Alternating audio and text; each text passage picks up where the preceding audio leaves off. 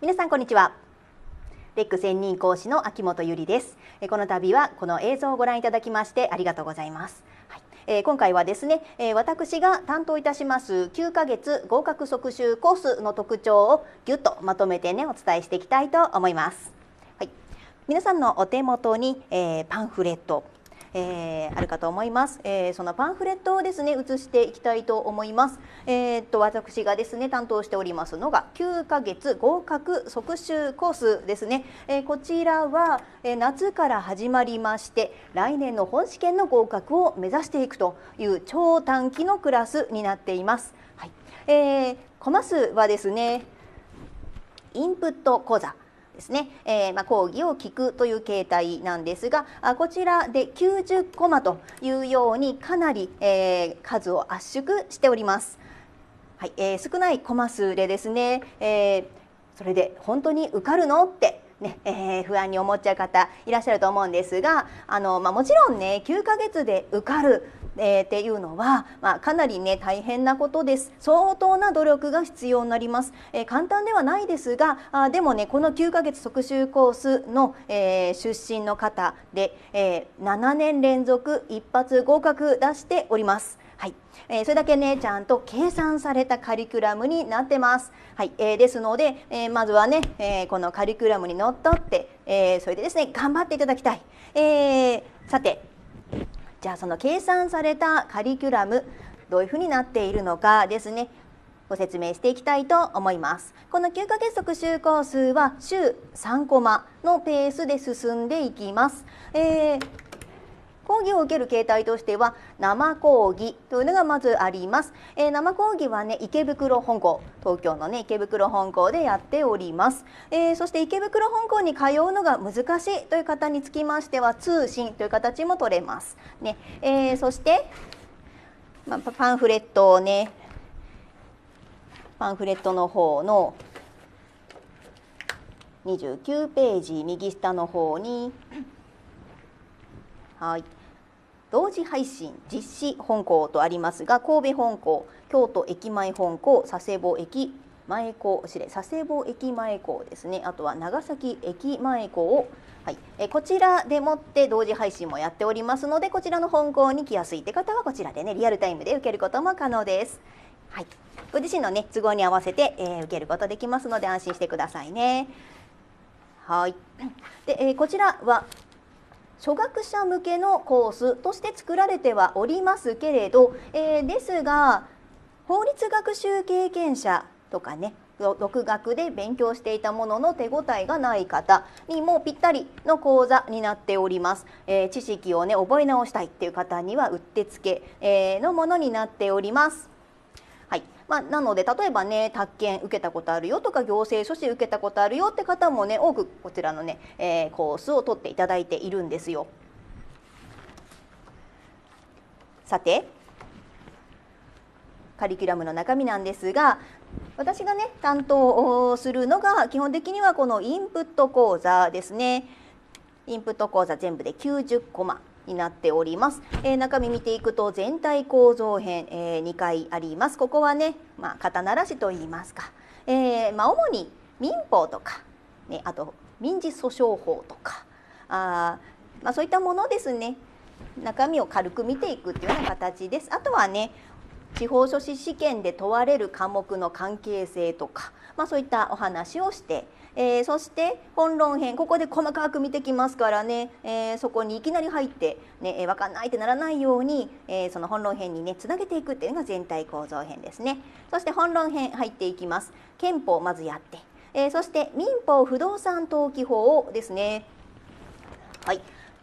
まあ、この講義のですね、え、大きな特徴といたしまして、え、民法と不動産登記法っていうのは非常に関連性がね、え、強いんですよ。えー9ヶ月即習コース本当にね、え、大きな特徴として挙げているのがなぜコマ数少ないので効率的に徹底的にね効率化を図っております、えー、その効率化の一つとして、えー、この関連性のね、えー、まあ、強い科目はもう一緒にやっちゃう。同時並行でね進めてしまうというのがね特徴です。あの9ヶ月特集じゃなくて他のレギュラーコースとしては新15ヶ月合格コースの秋生というのがあるわけなんですがあ一体どこが違うのっていうとね新15ヶ月合格コースは合格年度、まあ、目標の年度ですねは来年じゃないんですよ。来年ではなくてその次の年を目指すというのが新15ヶ月合格コースになりましてコマ数もね、えー、だいぶ違っております。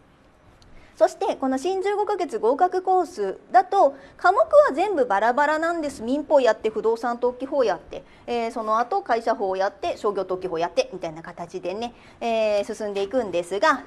9ヶ月特集コースの場合には民法不動産登記法は同時並行でやっちゃいます。ねえー、なのでテキストの方も、えーまあ、しばらく民法をやったら不動産登記法に入って、えー、でその後は民法不動産登記法を、ね、一緒にやっちゃうっていうような形で進んでいきます。はいでえー、これが終わったら会社法商業登記法これも関連性がねとってもね、えー、強いので一緒にやっちゃいます、ね、同時並行でやっていきます。まあ、こういう同時並行でやることで、えー、何がいいかっていうと、まあ、例えば民法やりましたで次不動産登記法入りました。その時民法の知識忘れちゃって、いることが多いんですけど、えー、一緒にやっていくことによって、ね、戻って復習ってことが必要なくなるんですよ。はい。ということで、ね、同時並行の形で進め効率化を図ると。いうことをやっております。えー、でその後に民事訴訟法民事執行法民事保全法が始まって次刑法やって供託法司法諸司法とそんな形でね進んでいきます。であとインプット講座には主要4科目横断整理講座というものが全4回あって、えー、民法不動産登記法でまず2回やってで会社法商法商業特許法で2回といった形ですね、まあ、こんがらがりやすいのでね、えー、横断整理ということで、まあ、いろいろ図表を使いながらですね整理をするという講座これも私があ講義いたします。でこの主要科目横断整理講座では生講義はなくて、えーまあ、皆様ですねウェブでご覧いただくとあとは DVD とかね、まあ、そういった形お家などで見ていただくのがこの主要4科目横断整理講座です。そして、えー、9ヶ月復習コースはインプット講座だけじゃなくてアウトプット講座というのも入っております。えー、全科目択一式到達度チェックテスト。はいえーまあ、こちらはですね各科目について、えーまあ、テストですね。答案うん練習会って、えー、略して答練って言うんですけれども、えーまあ、アウトプットの練習をすると要は問題解くというね、えー、ものがついております。まあ、こちらはあの私が解説するわけではないんですけれどもその下のね期日解放ベースアップ講座ですね、えー、これはあ期日式、まあ、書式とも言いますけれども、えー、期日式の答練です。期日式の模試。ね、不動産登記法10回商業登記法10回ありまして、えー、こちらね問題は新15ヶ月合格コースの受講生さんと共通のものを使ってます。で問題は一緒なんですけど、えー、9ヶ月特集コースの受講生さんだけは、まあ、特別に私が解説します。はい。えー、であの私の、ね、書籍の解き方っていうのがあ答案の構成用紙っていうのは使わない形になります、えー、登記事項証明書っていうものをベースにしてねそこに、えー、直に書き込んでいくっていうスタイルでもってね、えー、解説するんですけれどもあの私の解説はですね、えー、実況実況中継型っていうのを取ってるんですよ。ポイントポイント解説するんじゃなくてねえー、初見でパッとこう問題を開いた時にどこの部分から見ていくのか、ねえー、どこをどうね注目していくのかっていうのを逐一一緒に解きながら解説するってやり方なのでとても実践的です。はい、えー、そしてこの期日解放ベースアップ講座でもって、えー、ここはこの問題はねあの初学者向けの問題ですので、えー、解説聞いていただいて力をつけてもらい実況中継期日解き方講座。これ9ヶ月にしかないものですね。まあ、こちらはですね、まあ、あの相当難しい問題を用意してます。えー、上級編です。えっ、ー、と不動産登記法2回、商業登記法2回ご用意してまして、これも解説私です。えー、実況中継型でね、え解説していきます。はい。えこれらが3月末に生講義が終わるんですよ。えでその後は、え基本的には自主学習って形になりまして、え当練の時期に入っていきます。ファイナル編っていうね、え当練。それから全国公開模擬試験全国スーパー公開模擬試験というのが、えー、まあ、それぞれ2回2回っていうふうにあってでそして7月に司法書士の筆記試験があって、えー、で8月、えー、と9月、まあ、筆記試験のねあの合格の方については、まあ、模擬試験でその後10月に口述というような形になっていきます。はいえーまあ、こういった流れでもって進んでいきます。そしてまだね私の講義の大きな特徴っていうのがありまして、えー、それがオリジナルテキストです。私がね改訂しているテキストを使っていきます。はい、15ヶ月合格コースはブレイクスルーっていうねテキストを使うんですけれども9ヶ月についてはオリジナルテキストですね。これすごく評判いいんです。自分で言うのもなんですけどもね、えー、分かりやすいっていうふうにね、えー、いろんな方におっしゃっていただいてます。で、えーまあ、いろいろね工夫した点あるんですけども、まあ、パンフレットでいうと38ページ、ね、38ページのところ。で見ていただきたいのですが、まあ、いろいろね番号番号書いてあってね説明もあるのですがあとりわけこうお伝えしておきたいことを言っておきますね。はい、丸3っていうふうにね番号振られてる電球印、はいまあ、この電球印がねいろんなとこに入ってます。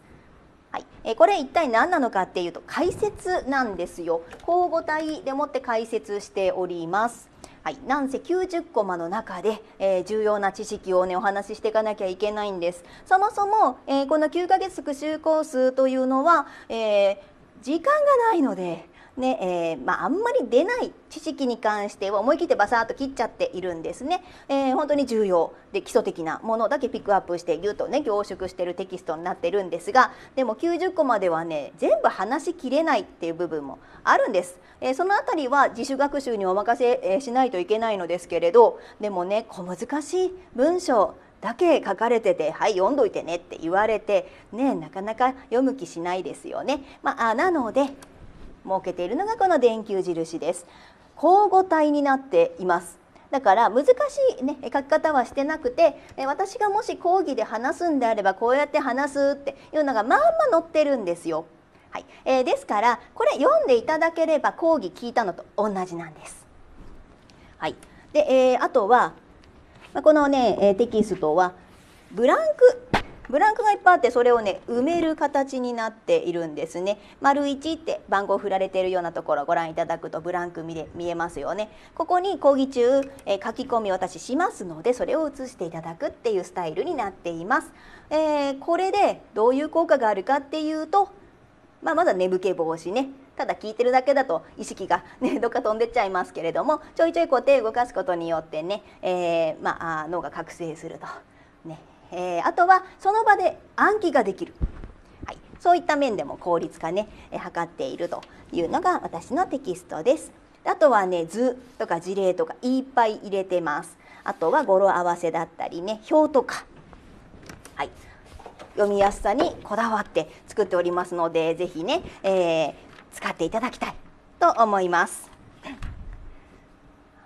いで、えー、あとね9ヶ月特集コースまだ特徴があるんですが、えー、まあ、特にね不動産登記法とか商業登記法のような登記ってね皆さんあんまり馴染みがないと思うんですよ、えー、ですがやんなきゃいけないのが司法書士試験ね、えー、そのあたりイメージが湧きやすいように、えー、それあの私がですねまあ普段実務やってますからね。実務のこぼれ話をいっぱい入れてきます。ね、イメージつかめるようにお話ししていきますからぜひぜひね楽しみにしてくださいねこういうことあったよとか、ね、秘密保持義務に反しない限り、ね、お話ししたいと思います。ね、あとはあのー、私のクラスだけなんですが不動産登記法の申請書作りこれを実際に講義内でやっていただきます。はいまあ、資料等ですね、えー、提供しまして、えー、申請書こうやってね並べていくんだよえここにハンコを押すんだよここにホチキスね止めるんだよみたいなあ本当実務でやられてる通りにですね申請書作りしていただきます。ねえこれやることで一気にね理解が進むんですよ。まあ、この体験できるのは私の講義だけですからね。はいえー、今ねお話をしてまいりましたけれどもやっぱり実際に体験していただきたいと思います。えー、まあ、無料のね体験っていうのもできますしあとはあのー、頻繁にね講座の説明会などもやっております。えー、ですからぜひぜひね、え参加してみてください。はいまあ、皆様にねお会いできることを楽しみにしております。え最後までご清聴ありがとうございました。